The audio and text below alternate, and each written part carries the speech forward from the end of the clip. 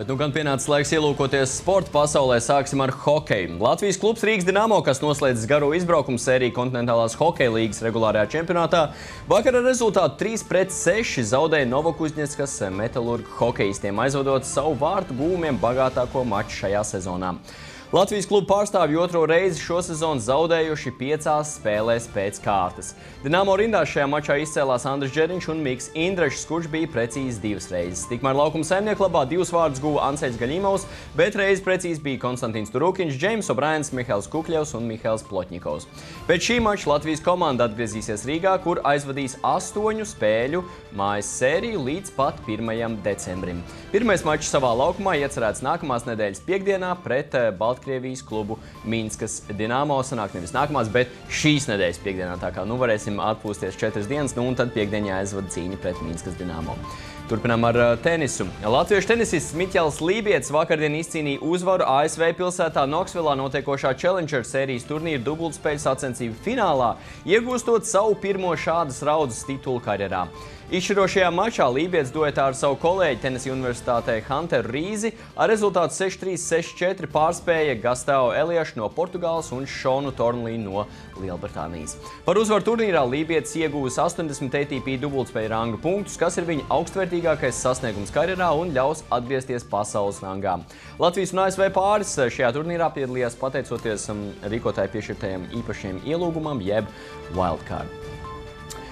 Bet par pirmās eh, formulas pasaules čempionāta 18. posma Brazīlijas Grand Prix uzvarētāju vakar kļuva Vācijas sportists Niko Rosbergs no Mercedes komandas, kurš pirmo sezonas noslēdzošā posma kurš pirms sezonas noslēdzošā posma pietuvojies eh, kopvērtējuma līderim un savam komandas biedram Luisam Hamiltonam no Lielbritānijas līdz 17 punktu atstatumam.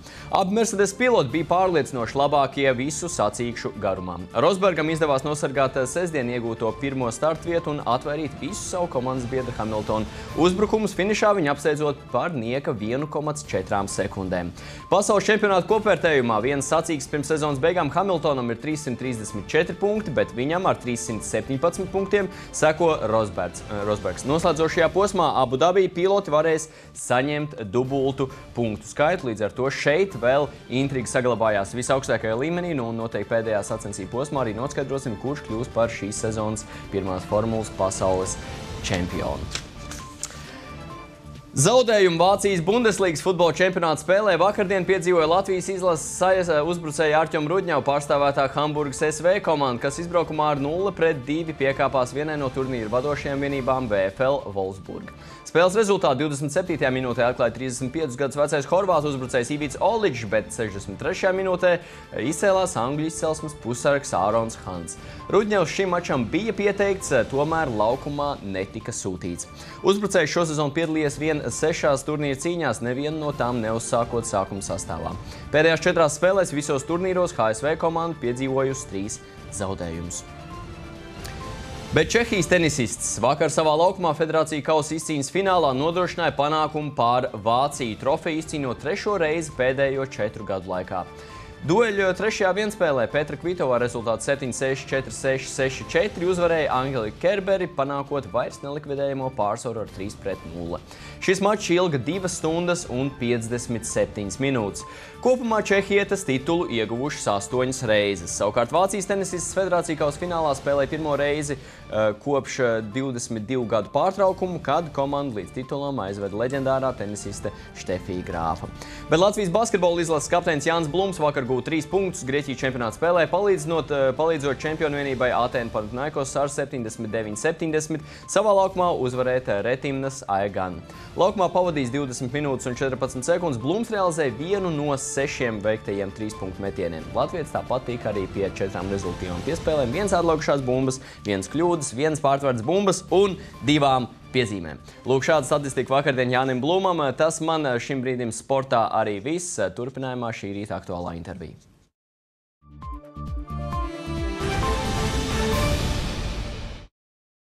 Rīga TV 24 studijā šobrīd ir Romas katoļu baznīcas priesteris Aivars Līcis. Labrīt!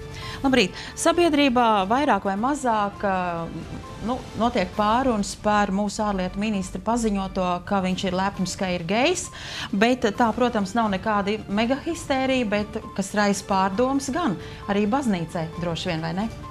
Jā, baznīcai tas ir tāds notikums, kas liek pārdomāt, kā mums uz to reaģēt jo mūsu baznīcas mācība diezgan skaidri ir pateikusi, kā jātiecas pret, pret homoseksuālismu, pret homoseksuālu praksi, un tāpēc arī, tāpēc arī tagad mums ir jādomā, kā atbildēt sabiedrībai uz, uz, uz jautājumu, kā tad reaģēt.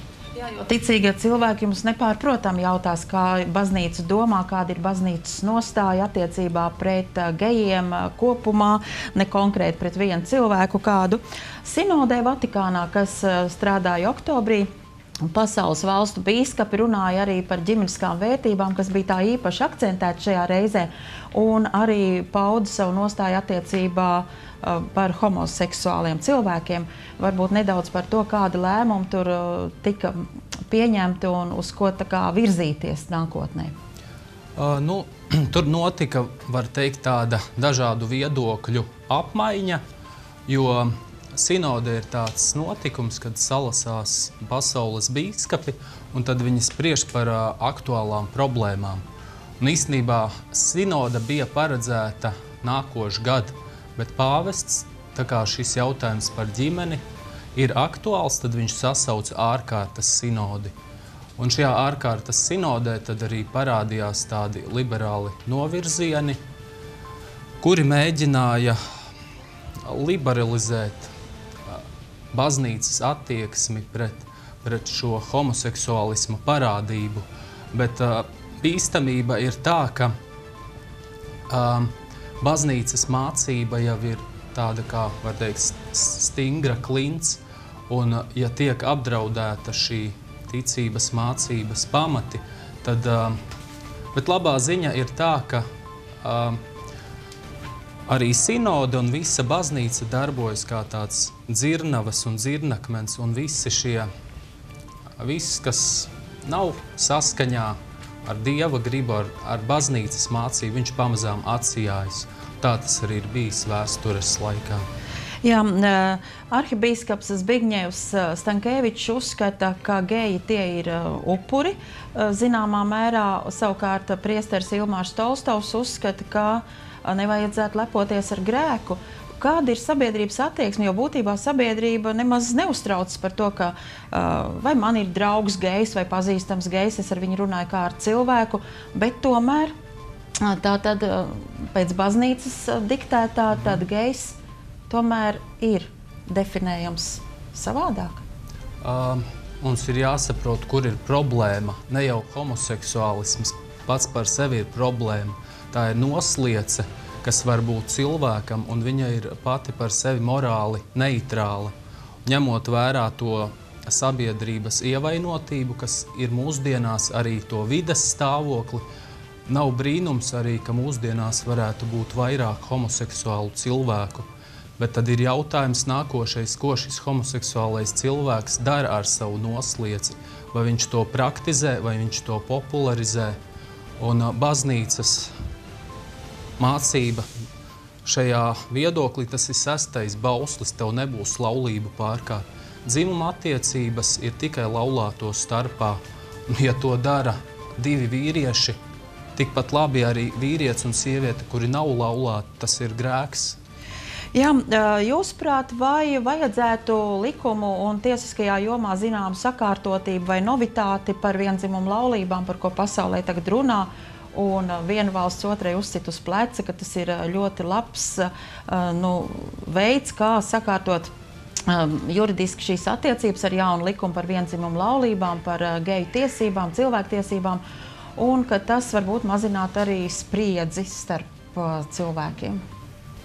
Es domāju, ka likumdošanā nav jāievieš tādas normas, kas ir pretrunā ar šo cilvēces pamatu pamatlikumu, kas ir desmit baušļi. Un, um, tas, tas attiecas uz šo lietu par, par savienībām, par geju savienībām, un uh, tas pats attiecas arī uz abortiem. Likums, kas ir pretrunā ar desmit baušļiem, tas ir saskaņā ar Jāņa Pāvila vārdiem. Tas, ir, tas nav likums, tas ir likuma parodija. Jūs esat arī kustības par dzīvību kapelāns. Var nedaudz akcentēt, kas šajā kustībā ir tas jūsu galvenais mērķis, ko jūs gribat sasniegt ar šo kustību? Uh, galvenais mērķis ir izplatīt dzīvības evaņģēliju. Un tas ir cieņa pret cilvēka dzīvību, sākot no ieņemšanas brīža, beidzot ar dabisku nāvi. Un, diemžēl, saskaņā ar mūsu valsts likumdošanu, bērns pēc ieņemšanas 12 nedēļas viņu var vienkārši nogalināt. Pa laikam arī baznīcu satricina tādi skandāli, kas saistīti ar uh, homoseksuālismu izpausmēm, uh, geju būšanām. Uh, kā palīdz, teiksim, kristīgie cilvēki pārvarēt citam kristīgam cilvēkam šo, varbūt kā izrauties no šī netikuma? Uh, nu, es teiktu, netikuma, jā. varbūt tas uh, manā interpretācijā iespējams, ka tas ir kādam dzīves norma. Uh, ir tā, ka, protams, ja ir šī problēma, homoseksuālisms, tad uh, cilvēkam ir ar to jārēķinās, un tas var būt arī kā smags krusts. Bet, uh, piemēram, katolis, viņš var nākt pie grēksūdzes, viņš var teikt priesterim, ka viņam ir tāda problēma, bet ja viņš vēlas dzīvot saskaņā ar dieva likumiem, tad, ja viņš neiesaistās tādās attiecībās, ja viņš to nepraktizē, nepopularizē, tad viņš ir normāls baznīcas loceklis. Un... Jā. Vai jūs, jūsu praksē arī ir nācies varbūt, palīdzēt un uzklausīt uh, uh, baznīcēnus, kuriem ir varbūt šāda uh, īpašība vai uh, šāda vēlme būt uh, homoseksuālam cilvēkam? Uh, nu, tā kā esmu jauns priesteris, tikai daži mēneši, tad pagaidām nav bijis, bet pirms tam es esmu saskāries, tas ir ļoti jūtīgs jautājums, jo jābūt ļoti uzmanīgam ar homoseksuālistiem, jo viņi meklē arī at, atzīšanu, mīlestību. Un ja šī, ja šī uzmanības parādīšana pret tādu cilvēku ir neuzmanīga, viņš var pierast, pie, pieķerties, un tas ir, tur jābūt ļoti lielai gudrībai. Latvijā, diemžēl, šāda aprūpe homoseksuālu personu nav īpaši attīstīta baznīcā. Ja mēs paskatāmies vispār uz globālu šo jautājumu, uz cilvēces nākotni, uz cilvēces attīstību, tad, protams, vienzimuma uh, laulības un uh, bērnu audzināšana, paņemšana adopcijā uh, teiksim, var samaitāt arī šo bērnu, un viņš neskat, nesaskata tālāk savus dzimtes turpinājumu, tad uh, cilvēks varētu degradēties, izmirt. Uh, palikt tikai kaut kādi bērnu atražotāji, un pārējie būtu tā elite, kas audzinātu un priecātos uh, savā veidā. Manuprāt, tas apdraud cilvēces ilgspējīgu attīstību, jo, ja mēs nedzīvojam saskaņā, es pārspīlēšu ar lietošanas instrukciju, ko Dievs mums ir iedevis. Ja mēs nelietojam savu dzīvi tā, kā Dievs to ir gribējis, tad mēs agrāk vai vēlāk iebrauksim grāvī. Baznīca varētu palīdzēt sabiedrībai teiksim, noskaidrot šos jautājumus pavisam teiksim, precīzi un noteikti un palīdzēt cilvēkiem varbūt mainīt savu attieksmi gan pret gejiem, gan pret šo teiksim, vienzimumu laulību iespējams. Man šķiet, ka baznīca pārāk daudz saka, pret ko viņi ir. Mums jābūt pozitīvākiem, ticīgajiem Mums ir jāsaprot, par ko mēs esam, nevis pret ko mēs esam. Tāpēc izglītība ir ļoti svarīga, arī ticība, ticības. Protams, metropolīts Zbigņevs Stankēvičs ir teicis, ka viņš respektē mūsu ārlietu ministra atzīšanos, bet tomēr tas izraisa arī teiksim, pārdomas par brīvību, atbildību un patiesību, kas ir aktuāli šobrīd. Tā, bet, godātie skatītāji, es domāju, ka jūs arī piekritīsiet, ka satversmē ir precīzi definēta kas ir ģimene, jautājums par ģimeni. Es domāju, ka mēs un arī baznīca pieturēsies pie šī definējuma, vismaz pagaidām noteikti, vai ne? Lai tā notiek. Jā, paldies par sarunu, paldies, ka atnācāt pie mums, bet mēs, godātie skatītāji, tālāk pievēršamies tam, kas rakstīts laikrakstu slēgās.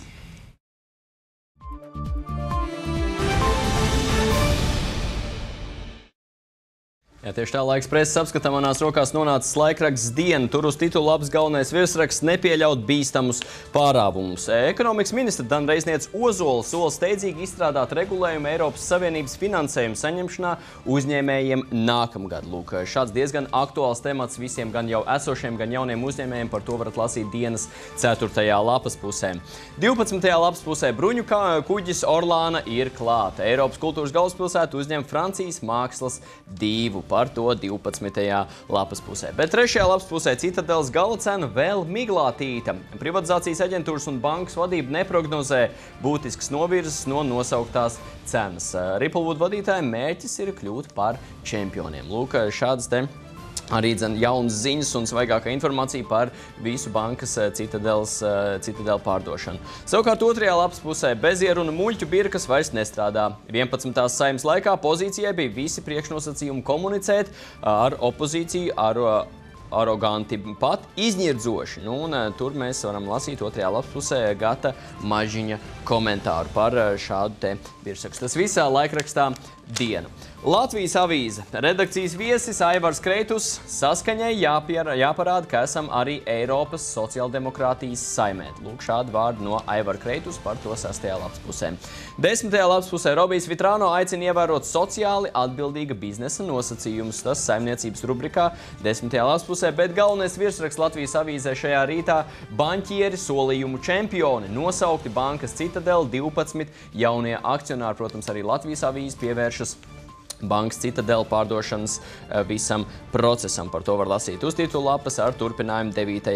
lapas pusē. Bet eh, tāpat arī, protams, Latvijas avīze pievērš mūsu gaidāmajiem valsts svētkiem eh, un tur virsraksts godināsim Latvijas varoņus. Godinot brīvības cīnītājus, rīt Lašplēšu dienā Latvijas pagastos un pilsētās notika piemiņas pasākumi, gan dievkalpojumi, gan arī dažādi citi. 12. lapas pusē santīmiem un latiem dod otro elpu. Pogu kalšana no santīmiem un latiem liepā liepājas amatniekiem kļūs par pieprasītu nodarbošanos. Lūk, cik interesanti tiešām nodarba no mūsu vecajiem labiem san, eh, santīmiem un latiņiem jākaļ ir izrādās kā pogas. Par to var lasīt Latvijas avīzē 12. Lapas pusē. Neatkarīgā rīta avīze uz titulu lapas uh, Zbigņevs Stankēvičs, kurš saka tā, lūksimies, lai Dievs attīra Latviju no morālās netīrības. Es aicinu visus ticīgos gavēt un lūgties par to, lai Dievs attīra Latviju no morālās netīrības un ved pie prāta tos, kas aizgājuši neceļos. Jā, nu pie prāta tiešām ir uh, jāvada tie, kas ir aizgājuši neceļos. Um, tāpat arī uh, neatkarīgajā rīta avīzē 11. novembra svecītēm ierāda vietu ārpus mūra. Lūk, šāda aktualitāte 4. lapas pusē. Nu, un tieši par šo tēmu mums arī būs eh, šodien eh, dienas gaitā tiešraide, nu, un tā būs eh, saruna studijā. Tā kā, nu, sekojiet līdz notikumiem mūsu televīzijā. Tāpat arī 10. lapas pusē neatkarīgajā rīta avīzē kāds dzīves moto svarīgs kultūra vēsturniekam Salvedim Cimermanim. Lūk, tas kultūras rubrikā. Otrajā lapas pusē saimā vienzimumu pāru legalizāciju neatbalsta. Tas otrajā lapas pusē, nu, un tur Ministrs Edgars Rinkevičs apgalvoja, ka nevar iepriecināt, neviens man nepiespieda atzīties. Tādējādi viņš noraida spekulācijas un kompromitu parādīšanos saistībā ar savu privāto dzīvi un profesionālo darbību. Nu, un tur Antra Gabra ir uzrakstījusi arī dzen, kādu rakstu saistībā ar to, kāds šobrīd viedoklis saimā par vienzimumu pāru legalizāciju. Tas neatkarīgajā rīta avīzē, bet uh, praktiskais latvietis, ko mums saka mājputni, gaļai un acu priecēšanai, nu un praktiskajā latvietī uz titulaps, uz vāka, Gailis. Protams, arī saistībā ar to, ka šodien mums ir Mārtiņa diena, proti vecais labais uh, teiciens un Tātad no latviešu tautsdziesmām Mārtiņam Gaila kā ap deviņiem cekuliem. Nu tad arī par to noteikti var kaut ko izlasīt arī praktiskajā latvietī par Mārtiņu dienu un par uh, gaļiem. Svētku torta Latvijas dzimšanas dienā. Arī tas praktiskajā latvietī visticamāk runājot par to, kā uzcelt eh, skaistu svētku torti eh, nu, un apsveikt tādā veidā arī eh, mūsu valsti. Tāpat arī par austersēnēm, kuras var izrādās arī uz palodas audzēt. Nu, un arī tāds aicinājums laiks vakcinēties pret gripu. Lūk, šādi jaunumi pašlaik presē, bet turpinājumā ieskatīsimies Rīgas centrāla tirgu. Veselīgi, garšīgi, koši, daudzveidīgi. Krāsainākā vieta pilsētā - Rīgas centrāltirgus. Labdien, darbie skatītāji, jaunā nedēļā un jaunā, jaunos svētkos Mārtiņa dienā. Skatāmies tirgus ziņas, un šodien Rīgas centrāla tirgus gaļas paviljonā nākam pēc uh, dažādām gaļiņām, dažādiem gardumiem. Apsolu, ka raidījumā labsēdienas labiem draugiem būs arī Mārtiņa dienas gailis, kuru tepat man aiz muguras uh, var arī iegādāties, izvēlēs starp uh, tīteriem, zosīm un pīlēm un trušiem. Bet redzījumā pie manis ciemosies uh, uzturu speciālisti un runāsim par grau, pilngraudu produktiem. Tāpēc pagatavo, pagatavosim šo un to, izmantojot pilngraudu produktus. Viena no tām lietām būs speķa pīrādziņš. Nu, Speķa pīrādziņam iesim sameklēt kādu garšīgu kūpinātu um, gaļiņu. Un te arī, protams, ir īpaši gar malām Rīgas centrāla tirgus gaļas paviljonā kūpinājumi arī ir lielā izvēlē no dažādām saimniecībām. Uh, Tātad es šoreiz meklēju cūkas krūtiņu, kas arī šoreiz ir gan, gan traknāka, gan, gan liesāka. Priekšpīdādziņiem laikam izvēlēsimies to traknāko. Un tā būs 4,10 eiro kg. Un, nu, protams, ka te arī notiek aktīva tirgošanās, bet nu, tā, mums ir vistas un viss pārējais, bet laikam laikam, laikam ka mums vairāk par šo visu var pastāstīt uh, paši, paši īpašnieki. Sveiki! Uh, man vajadzētu tādu krūtiņas gabalu mazu, to trakno, traknāko. To traknāko. Nu, cauraugusi, bez kauliņa un ļoti mīksta. Jā. Va, var arī pagaršot. À, mums pat dod pagaršot, mums pat dod pagaršot. Super! Super. Jo katrs klients mums ir zelta vērts. Mm -hmm gaidīts. Aha. Jā. Labi, šī, šī derēs noteikti. Jā. Šī ļoti garda. Un tā, no kurienes, no kurienes nāk, piemēram, visas gaļas un vistas? Nu, mēs esam Sijā Vārpa, un man ir pats menedžments. À, mums izrādās ir arī pats, pats, pats īpašnieks klāt. Sveiki! Sveiki! Uh, mēs no tātad. Uh, Nu, to gaļiņu man jau iedeva pagaršot, bija ļoti garda. To arī vēlāk pagatavosim. Bet, uh, tad, uh, no kurienes nāk produkti, no kurienes nāk vistas, cūkas, viss pārējais? Mēs izmantojam vietējās uh, gaļiņas visas. Un uh, esam Burtnieku novads, vecāks pagasts vārdu sen. Nodarbojamies ar cūgaļas un vistas gaļas žāvēšanu, kā arī piedāvājam ļoti garšīgas mednieku desiņas. Mm -hmm. Bet, uh, Tad burtniekos eh, žāvē visu, bet arī pašas vistas cūkas nāk arī no turpat burtniekiem? Vai? Tā kā no burtniekiem varbūt ir kādi vietēji piedāvājumi, cenšamies izmantot arī pārējos. Visu to garšīgāko ņemam. Uh mhm. -huh. Nu, piedāvājums diezgan, diezgan plašs, tik mazā, mazā logā viss kaut kas salikts. Kas ir, kas ir tas, kas iecienītākais, ko visvairāk sanāk saražot? Garšīgākās būs mūsu vistas, laikam, jo marināta patiešām ir ļoti fantastiska. Mēs varam uzmest aci. Uh, tikpat garšīgi ir arī mūsu rulete ar filēju, cūgaļas krūtiņa, piemēram. Uh, Marinādē ir kaut kāds uh, slēp, noslēpums visai. Tas mūsu firmas noslēpums, kuru mēs tiešām nevienam nestāstam, bet, ja vēlaties uzzināt, droši nogaršot. Tad var nogaršot un mēģināt uzminēt. Ja? Jā. Aha. Uh, nu jā, un tālāk, tālāk mums ir vistas gan, gan, gan veselas, gan, gan jau sadalītas visās iespējamās detaļās. Uz pusēm mēs pārsvarā griežam. Var, protams, mēģināt arī kaut ko no mazākiem izstrādājumiem. Tie būtu gulbīši, stilbiņi, spārni. Kas, kas ir gulbīši? Vistu gulbīši ir tāds kā mūsu produkts, tieši, kas ir vistu šķiņķīts, bet viņa kauls ir uz, vērsts uz āru, lai varētu praktiskāk ēst rokas nesmēja. Forma vienkārši cita, jā, tā cēlā. Nu, viņa atgādina gulbīti, kā tur mm. skauniņš zāris. Jā. Ā, Kā tu sanāk, tu pats esi arī tas, kas nodarbojas ar kūpināšanu un receptēm? Vai, vai Kad ir laiks, tad es, protams, mēģinu arī pievērsties tam visam, bet to dara citi cilvēki. Nu, kas kas vēl tāds jāzina, jāzina par šiem produktiem? Piemēram, nu, cik ilgi tāda vistas viņa šodien nopērk, man viņa ar leduskapī aizmirstās, cik ilgi viņa stāvēs. Garantējam termiņu septiņas dienas, un septiņu dienu laikā es domāju, kurš būs gatavs tikt galā ar vistu. Nu, īstenībā es nu, nevaru iedomāties, kā viņi varētu leduskapī septiņas dienas nostāvēt. Man liekas, tas tāds. Uh, nē, nu, es domāju, ka nenoēdot, nenoēdot. Uh, Nenostāvēs. Tā, man laikam atlika vēl norēķināties par to, par to krūtiņu. Tā, un izstāst, ka, ja jau, ja jau tā, tā slavēja, tad varbūt kaut ko, kaut ko vēl gardu vienkārši pašam priekš mājām jāpaņem. Nu, tad tu, tu iesaki, iesaki rulatīti, ja? Jā, ar filēju būs tāda sulīgāka. Nu, protams, viss ir sulīgs, bet ar uh, filēju būs tāda bišķiņa varbūt sulīga. Jā, diētiskāk. Nu, tad tas mums šoreiz arī svarīgi būs tāds filējas, filējas rulētas gabaliņš. Bet, nu, tad skatītājiem, nu, paldies, paldies par iespēju iepazīties ar, uh, arī katru dienu esat šeit. Nu, mēģinu ieskriet šādu un tad paskatīties, kāda Nu, mums jā, skaista. skaidrs. Nu, labi, tad mēs no šoreiz no tirgus ziņām sakam tā, tiekamies jau nākamreiz, bet tiekamies arī redzījumā un gatavojam Mārtiņdienas ēdienus. Čau!